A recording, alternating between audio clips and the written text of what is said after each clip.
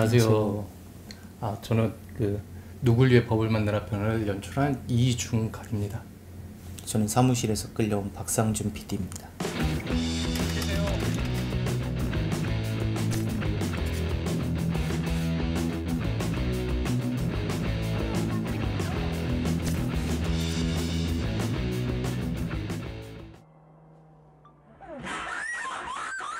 지난 5월 축구 클럽 차량 사고로 8살 태호와 유찬이가 세상을 떠났습니다. 9월에는 9살 민식이가 학교 앞에서 횡단보도를 건너다 차에 치였습니다. 2년 전 놀이공원 경사진 주차장에서 4살 하준이는 목숨을 잃었습니다. 3년 전 혜인이는 어린이집 하원길에 사고를 당하고 응급조치를 제대로 받지 못해 사망했습니다. 되게 좀 가슴 아픈 사건들이더라고요. 이게 네. 이 사건 하나하나가 이제 단발 뉴스로는 소개가 됐는데 네. 예, 구체적으로 사연을 파고들면 다 가슴 아프죠. 아, 지금 여기가 어디입니까? 복도입니다. 국회 본관에. 부모님들이 다 이쪽으로 와 계셨던 거예요? 예 예. 부모들의 간절한 마음과 달리 법안들은 국회에서 논의조차 되지 않았습니다. 일하는 국회를 표방하며 출발한 20대 국회. 지난 4년 국회는 얼마나 일을 했을까요?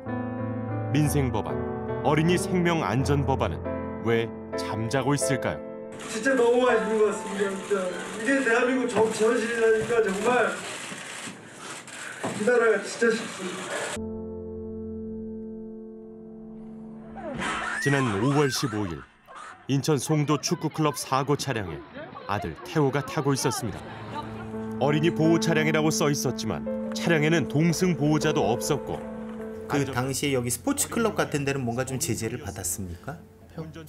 그냥 폐업. 예 그리고 이제 운전자만. 근데 그분은 또 코치였던 예, 거잖아요. 예, 예. 과외 일을 했던. 거잖아요. 제대하고 얼마 안 된 젊은 아 그럼 대표는 전혀 지금 뭐 네, 네. 거기에 대해서 책임을 안 졌어요? 네 네. 그런 것도 또 문제는 있네요. 제가 이번 사고로 아들 하늘 나갔거든요. 아. 축구 클럽 노란 차 네, 사고 네. 떴어요. 아유 너무 가슴 아파요 진짜. 부모는 어린이가 보호받지 못하는 노란 차의 존재를 세상에 알리고 싶었습니다.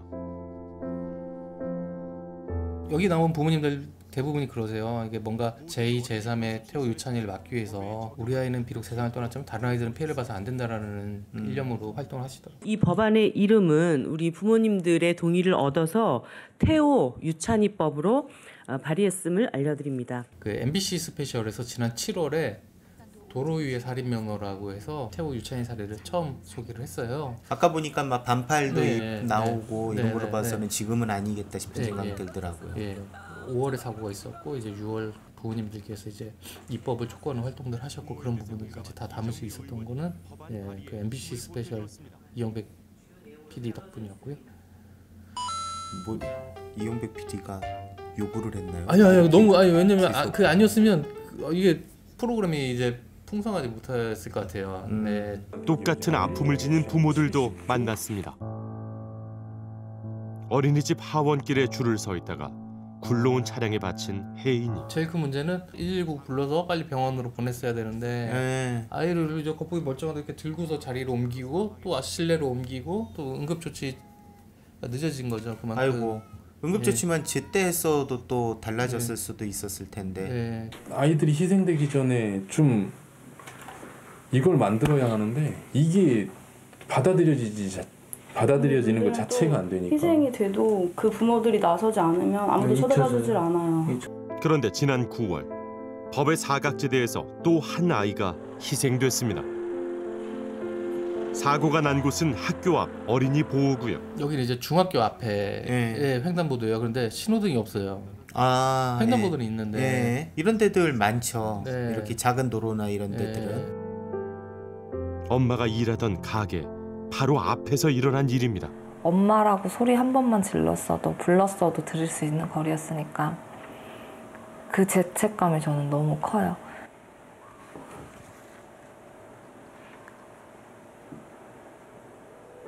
민식이법은 어린이 보호구역 내 신호등, 과속 카메라 설치 의무 규정과 사망 사고 시 가중 처벌 규정을 담고 있습니다.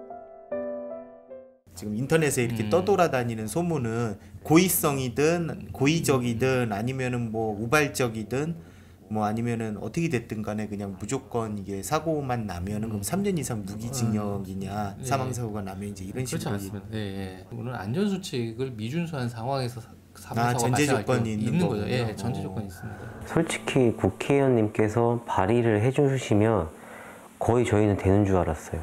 근데 발의를 하고 일단 논의가 돼야 되는데 논의조차 이루어지지 않는다는 게 제일 힘들었고요. 국회의원이나 정부가 법안을 발의하면 해당 상임위원회에 상정이 됩니다. 상임위 내에는 법안을 논의하고 심사하는 법안심사소위원회가 있는데 이곳에서 통과가 되면 다시 해당 상임위 전체 회의를 거쳐 법제사법위원회로 갑니다. 법사위에서 체계자구 심사를 거친 후 법안은 마지막 국회 본회의로 넘어갑니다. 본회의에서 표결에 붙여진 법안이 가결이 되면 마침내 온전한 법이 됩니다. 그런데 해인이법, 하준이법 등 어린이 생명 안전 법안들은 모두 해당 상임위원회에 상정만 돼 있을 뿐 법안 소위로 넘어가지 못하고 있었습니다. 어린이 안전에 관한 법안인데 그 그냥 해당- 우선순위에서 무조건 예. 밀린 건가요? 덜 중요하다 생각을 하고 올해 20대 국회 의원들이 발의한 법안이 2만 4천 건이고요. 아, 예. 그다음에 지금 행정안전위원회 상임위 앞으로 발의된 법안들이 지금 아직 논의도 안 한 게 2,400건 정도가 있어요. 음, 물리적으로 가능은 한가요? 그런 것들이 심사가? 아니요, 안 되죠. 챙기고 있죠. 음, 명함 잘 받았어요. 297개 의원실을 일일이 돌며 해인이법, 하준이법 등 어린이 생명 안전법의 필요성을 알렸습니다. 이게 보통은 이제 이 국회의원들이 많이 발의를 하고 이러면은 네. 굉장히 일 잘하는 국회의원들이라고 저희는 생각을 하잖아요. 예, 그렇죠. 근데 또 너무 많이 이렇게 발의하는 것도 또 물리적으로 그러려면 법안 소위 법안 심사 소위원회가 자주 열려야 되는데 음, 또 국회 일정상 그렇게 여- 자주 열려서 그걸 다 논의하거나 그러지 못하는 거죠. 의원님 저 태호 아빠입니다. 오늘 심의 일정을 좀 알려주십시오. 좀 봐가면서 이 모든 의사 일정이 여야 아, 간사간 합의에 의해서 어, 의사 일정이 상정이 되고 하기 때문에 지금 뭐 의사 의안이 엄청나게 많잖아요. 현재 행정안전위원회에 계류된 법안만 총 2,390건. 문제는 시간. 2,390건이란 건 지금 행정안전위원회에. 관할 법률인데 논의조차 안 된. 의회 일정이 얼마 안 남지 않았나요? 정기국회는 어제자로 끝났고요. 예. 이제 이제 총선이니까 선거 운동해야 되니까 더 논의가 될 수 있는 시간이 있을까. 선거법, 공수처법으로 촉발된 여야의 극한 대립 때문이었습니다. 입법 업무가 마비되면서 국회 내에서도 비판 여론이 일었습니다. 급기야 지난 4월 국회는 법안 소위를 매월 2회 이상 개회할 것을 규정한 법을 만들었습니다. 그러면은 뭐 규정을 예를 들어서 못 지키거나 이런 무슨 불이익이 네, 페널티는 없습니다. 그냥 여야 간사들의 합의해서 음. 아닐 수도 있는 거예요. 지난 상반기에 거의 국회가 상임위 활동이라든가 잘 열리지 않았는데 그때 이제 솔직히 의원들은 내년에 총선 앞두고서 음. 지역구 활동할 수 있어서 좋았다. 네. 억울하게 떠나보낸 자식들입니다. 그 아이들의 이름을 붙인 법안까지 폐기돼 떠나보내고 싶지 않은 부모들입니다. 저희 아이들 이름 딴 법안들 지금 계속 계류되어 있는 상태라 오늘 소위에서 꼭 좀 오늘 꼭 좀 논의 부탁드리겠습니다. 부탁드리겠습니다. 부탁드리겠습니다. 이 부모님들이 그럼 계속 요 상임위원회 암, 앞에서 계속 예, 이거를 예. 회의 열릴 때마다 계셨던 예, 거예요? 예, 20대 국회 안에서 논의가 안 되면 폐기가 되잖아요. 이 법안들은 국회 안에 기다릴 때가 마땅치가 않을 텐데요. 그 상임위원회 앞에 복도에서 그냥 복도에서 계속 예, 계시는 예, 거예요. 회의 일정 미리 공지되는 것도 아니에요. 그럼 계속 그냥 여기 붙어 계셨던 예, 예, 거네요. 부모님들이. 네네. 아이고 참. 대선과 관련된 지역구 활동, 지역구 법안 안 챙길 수 없고 대놓고 압박하지 않거나 자기 표와 직결되지 않은 거는 아무리 좋은 국회의원이라고 해도 신경 쓰기가 쉽지는 않, 않죠. 일단 지역구와 관련된 부분에 더 관심이 있다는 이야기네요. 제발 좀 제발 좀손 열어주세요. 제발 아이들 내놔하지 말아주세요. 지금 물에 애들 지금 수면위로 떠올랐어요. 아유 저, 저 이렇게 하지 마시고요. 제발 부탁드립니다. 제발 걱정만 주세요. 걱정만 저 28일 28일 법안에 네. 하고 감사합니다. 위원장님이 말씀하신 거 감사합니다. 감사합니다. 법안을 논의를 시작한다라는 게 감사해야 될 일인지 솔직히 예. 어떻게 보면 되게 당연한 건데. 네. 해인이법이 처음 발의된 지 꼭 3년 4개월 만의 일입니다. 어, 방금 저 어린이 교통안전 강화를 위한 아, 법안 심사 일부를 마쳤습니다. 아, 우선 어린이 안전사고 응급조치를 의무화하는 해인이 법안 오늘 가결했습니다.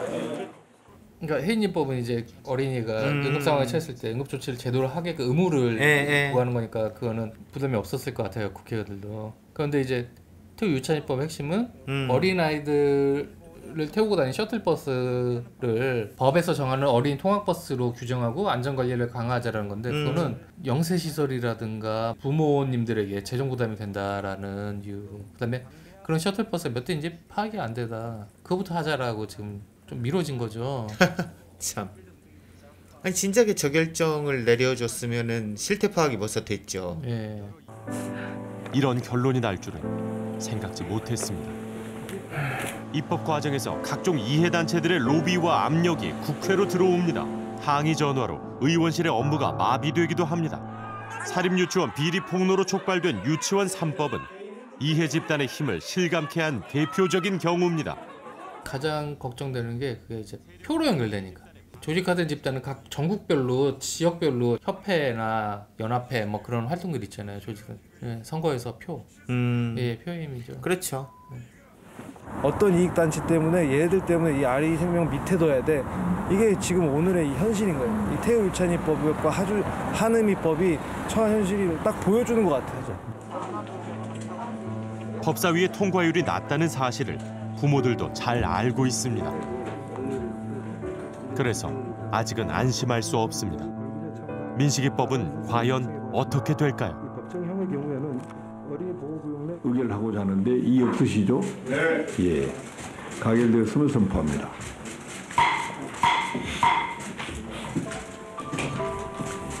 민식이법 아 가결이 됐네요. 네 민식이법 그리고 하준이법 음. 주차장법을 개정하는 하준이법도 둘 다 동시에 이제 법사위에서 법사위까지 통과됐고요 바로 그날 열리는 본회의로 넘어가는 걸로 네. 그렇게 예정이 돼 있었어요. 여기만 되면은 되는. 네, 법안이 거죠. 이제 시- 예, 공포가 되고 이제 시행이 예. 되는 거죠. 그런데 2시 개회 예정이던 본회의가 열리지 않습니다. 의원들도 들어오지 않고 뭔가 심상치 않은 분위기.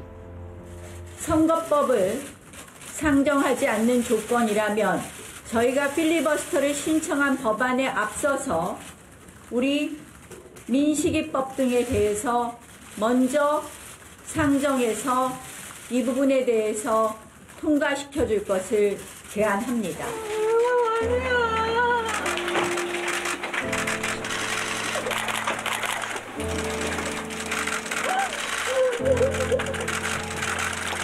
이날 국회는 서로를 비난하는 것으로 일정을 마쳤습니다. 민식이법 외면하는 자유한국당 강력 규탄한다! 저렇게 구호로 쓰라고 허락한 이름이 아닌데. 그렇죠. 여당은 야당 비판하면서 민식이법 언급하고 야당은 여당 비판하면서 민식이법 언급하고 하준이법 발목 잡는 민주당은! 잔인하다! 잔인하다! 잔인하다! 왜내 떠나간 우리 아이들이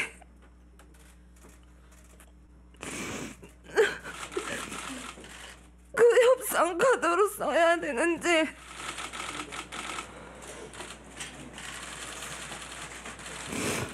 불러주고 싶어도 마음 아파 불러줄 수 없는 우리 아이들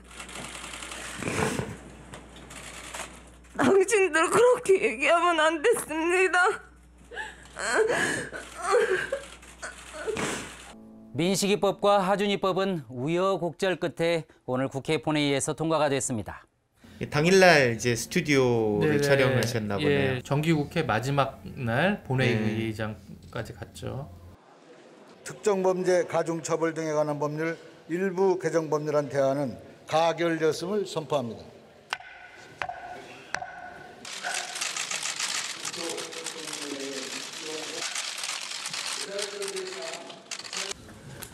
너를 다시 못 보는 그 아픔에서 엄마 아빠가 평생 헤어나올 순 없겠지만 국회의원들이 법을 만드는 게 아니고 부모님들이 만들었네요. 그래도 너의 이름으로 된 법으로 다른 많은 아이들이 다치거나 사망하거나 그런 일을 막아줄 수 있을 거야. 당일날 네. 그래도 이 제작하는 PD 입장에서는 생각이 많았겠어요. 당일날 이게 통과가 될 수도 있고 안 될 수도 있는 상황이었을 네, 테니까. 그렇죠. 어느 정도 상황까지 담을 수 있을지 고민이 많긴 많이 했는데 그래도 이제 통과가 되든 안 되든 일단 네, 마지막까지 일단 담아보자 그 음. 상황을 해서 했고요. 뭐 지역구에 자주, 자주 얼굴 비추고 어디 TV 출연 자주 하고 그런 게 좋은 국회의원이 아니라 국회의원들이 국회 안에서 모여서 자기가 해야 되는 일을 논의하고 사회적 합의가 나오게끔 만드는 아까 그 본회의 무산됐을 때 그냥 예. 그 어머님이 말씀하셨던 이제 그게 이 프로그램의 모든 걸 얘기해 주고 있는 네, 네, 네 맞습니다. 당신들이 먼저 이런 뭐 법안에 대해서 논의하고 수정하고 보완해 나갔다면 우리 아이들은 이 이름에 법전하는 거 이름 붙이지 않았습니다. 저희 가족들이 이렇게 길거리에 나와 무릎 꿇으며 당신들한테 빌일 없었습니다.